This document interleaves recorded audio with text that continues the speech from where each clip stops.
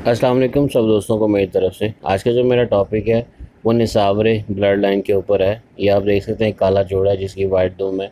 ये निसावरा blood line है और ये कबूतर आज ना होने के बराबर है। और ये एक ऐसी नस्ल है जो पचास साल पीछे चले जाएँ तो ये नस्ल थी। पाकिस्तान में भी थी आम उड़ती थी, ठीक है हाई फ्लायर के साथ उड़ती थी। लेकिन आज ये नस्ल ना होने के बराबर है। इंडिया में चंद जगह पर ये मौजूद है। और ये जो है बड़ी अथेंटिक ब्लड लाइन रही है और अपने दौर में इसने अपना लोहा मनवाया। इसकी पहचान ये होती है इसकी कमर में कांटा नहीं होता। ये किसी परख होती है, पहचान होती है। कोई भी नसावरा कबूतर उसकी कमर में कांटा नहीं होगा। और जब हम इसको हाई फ्लेयर में क्रॉस करेंगे, यानी ठीक है तो फिर जाके इसमें कांटा पैदा होता है और अक्सर ये कांटे डबल बन जाते हैं, दो कांटे होते हैं। नसावरे की दूसरी पहचान ये होती है कि इसकी दुम में पत्ते ज़्यादा होते हैं। आमतौर पर चौदह, सोलह, अठारह, बाईस यहाँ तक पत्ते होते हैं। अब ये जो कबूतर है, इसकी दुम में जो पत्ते अभी हम काउंट कर रहे हैं, ये सोलह पत्ते कैलकुलेट होंगे। लेकिन जबकि बीच में काफ़ी दफ़ा, काफ़ी जगह इसका गैप होने की वजह से ये पत्ते ट्वेंटी टू थे, बाईस थे, लेकिन अभी सोलह काउंट हो रहे हैं। बीच में मिस भी हैं। तो ये नसावरों की पहचान होती है। ये कबूतर आज भी हमें नज़र आएँगे। हमारे बहुत से हाई फ्लाई कबूतरों के अंदर, इन के कबूतरों का ब्लड मौजूद है। अब अक्सर आपने देखा होगा, किसी कबूतर की दुम में चौदह पत्ते निकल हैं, सोलह निकल हैं। और उसकी दुम में अक्सर आप कर्व देखते हो। दुम में कर्व भी होता है जो गोलाई की सूरत में होगा, ठीक है? और ये नसावरों में से बने होते हैं। और दूसरी निशानी क्या होती है? कांटा कमर पे ना हो तब भी कंफर्म हो जाता है कि नसावरों से है। ये अब एक जोड़ा देखें ब्लैक कलर का, इसके परों में वाइट पर है। ये भी नसावरा ब्लड लाइन है। ये कबूतर हर रंग, हर कलर हर कोड में और हर आँख में आपको मिल जाएँगे। ये कबूतर आज हमारे बहुत सी नस्लों में होंगे। अक्सर साइड एरिया में देखो कई कबूतर नज़र आते हैं, उनमें ये ब्लड लाइन होता है। देखने में आपको फैंसी लग रहे होंगे या चौकी लग रहे होंगे या लकी कबूतर लग रहे होंगे दुम की वजह से। लेकिन ऐसी बात नहीं, ये नसावरा ब्लड लाइन आज ख़त्म हो चुकी है और किसी दौर में इसका बड़ा नाम था। आज नए शौकीन हजरात तो इस नाम को फ़र्स्ट टाइम सुनेंगे निसावरा, लेकिन पुराने शौकीन हैं, उनके, उनको पता है इसके बारे में।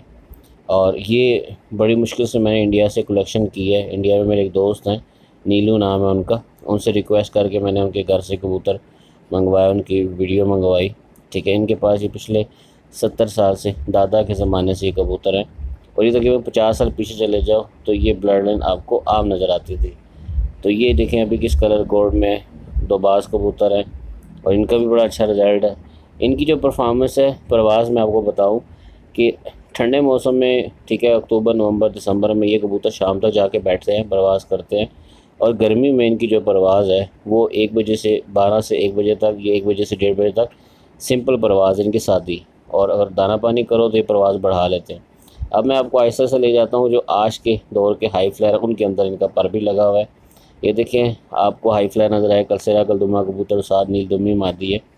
ये भी जो है, निसावरे ब्लड लाइन में से हैं। और ये आज तक क्रॉस नहीं हुए, अपनी असल हालत में ही है। दूसरा जो दिखाऊँगा जोड़ा, इसमें जो मादी है, वो लाल सीरी मादी है, ठीक है, और जो नार है, सलारा कबूतर, ठीक है, ऐसे चप कबूतर भी होते हैं, सलारे कबूतर। ये भी नसावरा ब्लड लाइन में से, और ये भी उड़े उड़ाए कबूतर हैं। ये देखिए, बटेरी कबूतरी, आज आप इसको देखोगे तो कहोगे बटेरी है, लेकिन ये भी नसावरों में से है, और एक ही करके कबूतर हैं।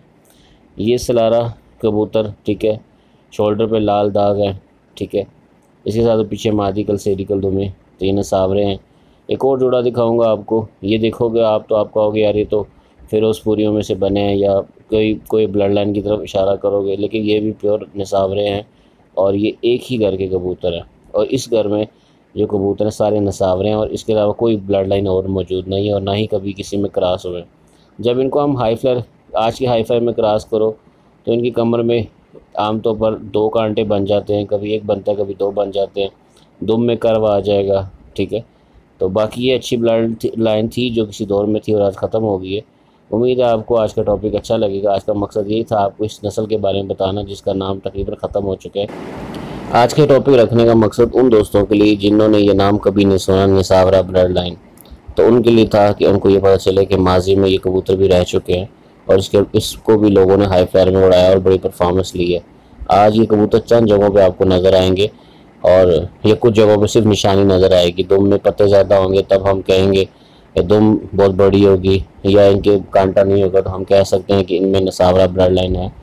तो उम्मीद है आपको सब दोस्तों के टॉपिक अच्छा लगेगा और इसके मुतालिक थोड़ा बहुत नॉलेज आपको मिलेगा कि ये भी एक ब्लड लाइन थी जो आज नहीं रही। सब दोस्तों का बहुत शुक्रिया। अल्लाह हाफिज़।